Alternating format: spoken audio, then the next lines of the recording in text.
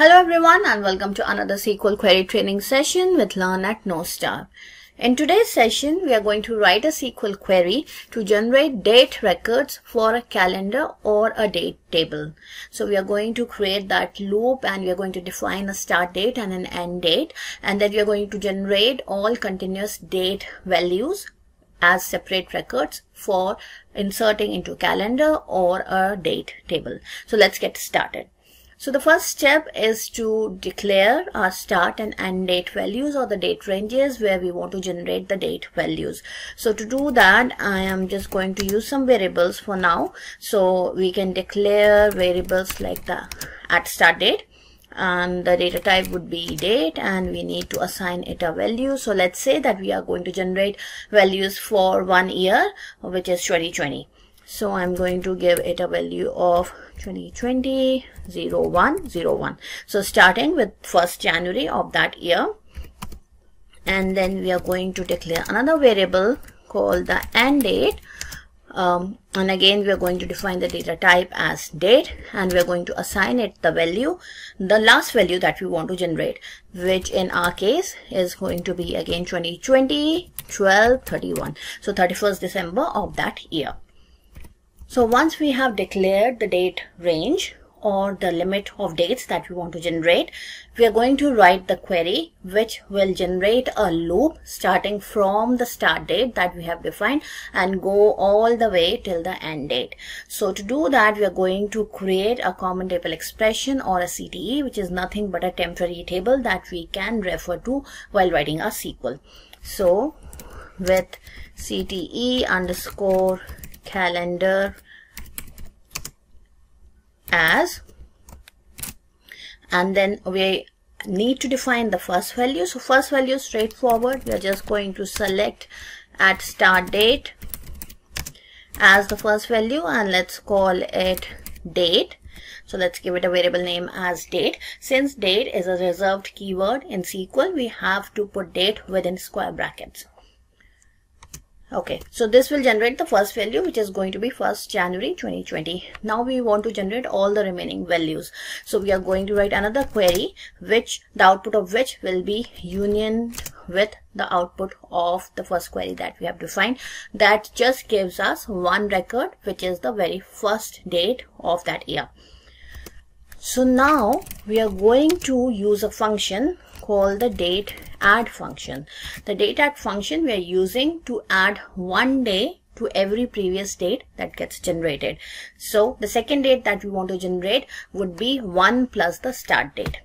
So the interval in the date add function you need to pass on some arguments.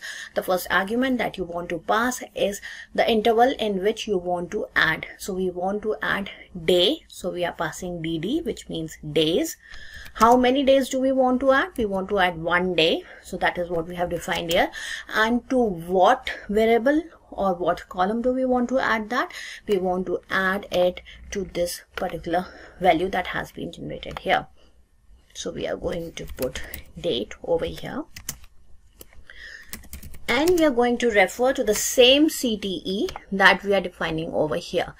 Referring to the same CTE within its definition is known as recursive calls. Now we have also done another video on recursive calls.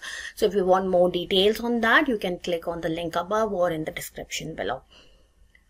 So here we are going to refer to the same CTE, which is CTE underscore calendar. So to mostly generate a kind of a loop, you need to refer to the same CTE. You need to have recursive calls. This is what we are doing here.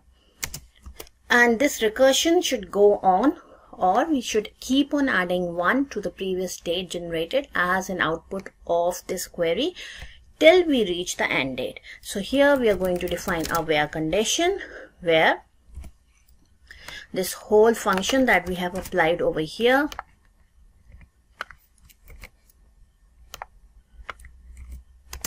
is less than or equal to at end date. So this becomes a CTE. And once we have defined the CTE, we should be able to obtain the output from this query. So for that, we have to write a select statement on top of this. So select date from CTE underscore calendar. So this should serve a purpose and we should be able to see all those values generated over here. Now if we execute this whole statement, Okay, so we have got the spelling wrong here. So this becomes at start date. Okay, now let's execute it again. Okay, so when you execute it, what would happen is that you would get this warning message which says that the maximum recursion 100 has been exhausted.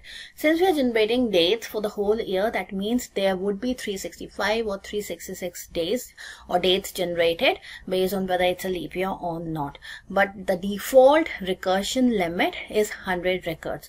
So now we need to override this and to be able to generate those 100 or how many records you want to be generated you need to add another statement over here which is option max recursion.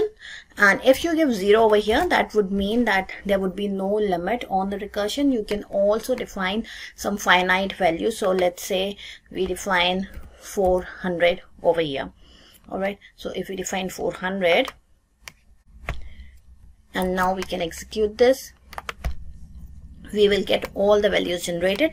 So 2020 was a leap year so you have 366 rows generated over here. And as we said that if you want no limit on this recursion you can also specify zero. It will also give you the same result. All right. Now if you want you can change these values. You can generate it for any year or you can generate it for maybe two years. So let's say from 2020 we want to generate it till 2021 we can do that as well. So we can use the same query and now you have 731 rows generated. The first row is 1 1 20 20 and the last row will go all the way till 31 12 2021 so this is the same logic that you can use to generate any continuous range of values so even if you want to generate let's say uh, some row IDs simply a continuous range of numbers from 1 to 500 or something like that you can use the same logic which is a recursive query over here which would let you generate all those continuous ranges of values I hope that you found this video useful. If you did, then please do not forget to subscribe to our YouTube channel. Thanks a lot for watching. Goodbye.